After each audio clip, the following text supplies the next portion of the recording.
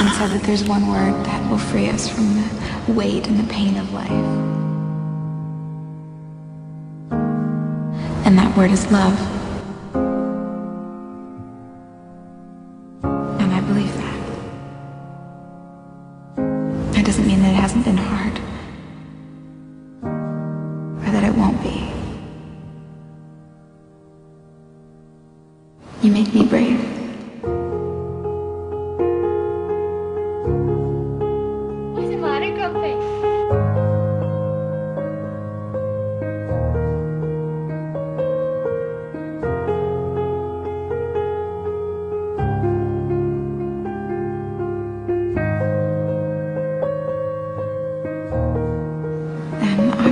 you until the end of time.